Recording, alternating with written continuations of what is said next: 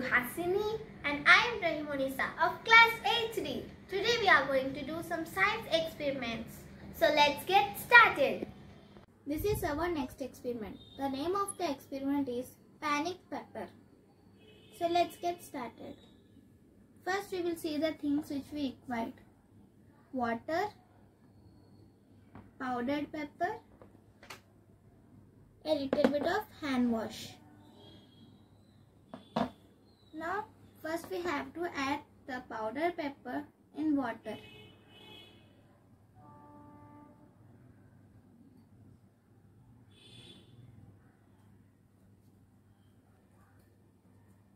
Hmm, now let's put the finger in it. No effect. Now apply hand wash put the finger. All the pepper went away. This is how the hand wash works on germs present on our hand.